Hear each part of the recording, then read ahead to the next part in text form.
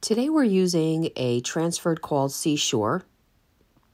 And we have our wooden welcome sign that you guys see often, which is four feet by 10 inches. And these are the different photos that come in one pack of Seashore that we just showed you.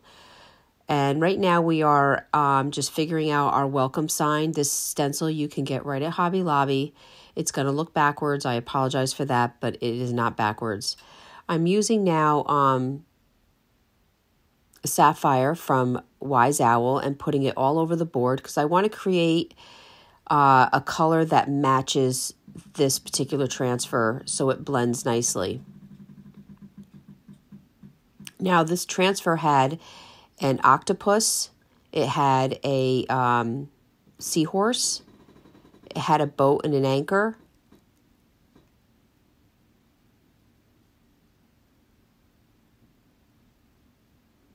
And you can get that on chalkitupfancy.com.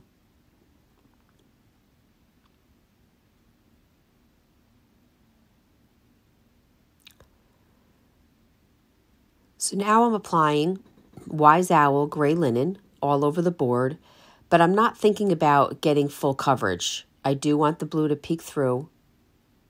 So I'm just basically with a roller, a foam roller that we get from Lowe's, I'm just going over the entire board. And you can see some see-through. Now I did blow dry that and it's now dry. And I took some black and just dry brushed with no uh, pattern all over the board.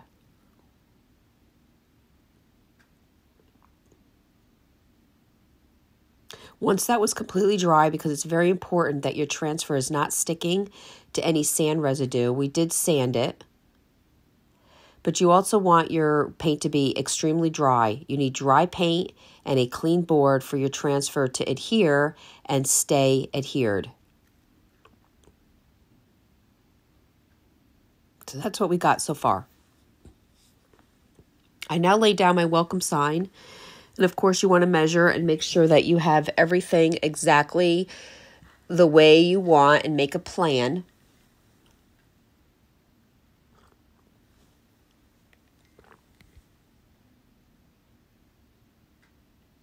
And I took some black paint with a foam roller and you want to load it and unload it. That's the key to stenciling and you don't want to push down as you're painting. You just want to lightly roll over your letters. You can go in different directions if you feel like you're not getting good coverage, but do not press down. And then you're just going to lift very easily and not shift the stencil. And now you have your word welcome. You can put it in any color you want. We then blow dried that. Again, I know it's backwards, this was from a live on uh, Facebook, and Facebook, we didn't flip our camera, so unfortunately it did turn in out backwards. Okay, so now we're taking our anchor and I'm moving it slightly down so that I don't cover my E in welcome. And we did cut the tip a little bit, and then we cut the excess off the bottom.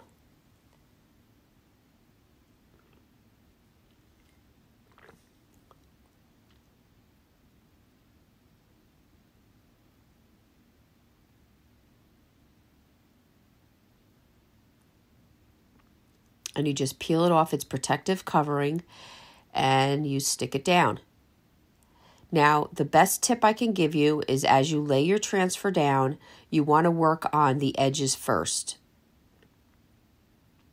After you get, you know, you want to get all the bubbles out, but then when I really start rubbing, I'm going to focus on my edges and getting the sides to lay down before I even try to attempt to peel this back.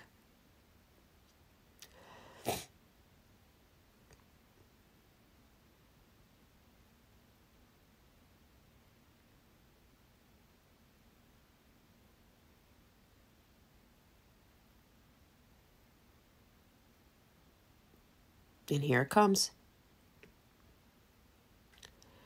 Now I'm just rubbing all over and making sure it lays flat. And then I got all the bubbles out. And there you go. Now I'm doing the top part where we chose the boat. We felt that that all went together nicely.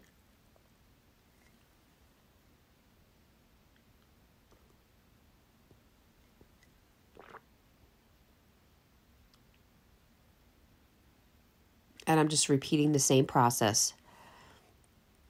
This little wooden stick comes in every package of transfer that you can find on chalkitupfancy.com.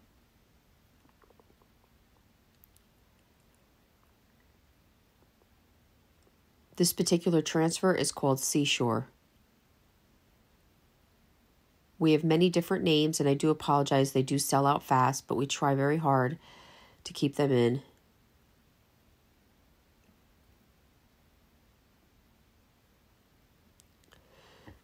Now you're going to have to burnish it, and this really does adhere your transfer to the board.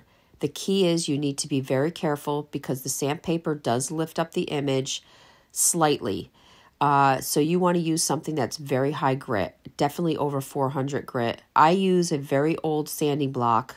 These are some of the images that you can get out of the transfer. Uh, I use a very overused sanding block, and uh, that seems to work good. We decided to put on a compass. Uh, at first, I was going to cover up the um, north, south, east, and west because it wasn't fitting on my board. And then after I realized, I decided to just cock it a little bit to the side, and then this north, south, east, and west did fit on. I then took my varnish from Wise Owl, our favorite product in matte, and covered the entire board. And if I do this with three coats of the Wise Owl varnish, I can then put it out on my porch and not worry about weather. And there you go. Thank you so much.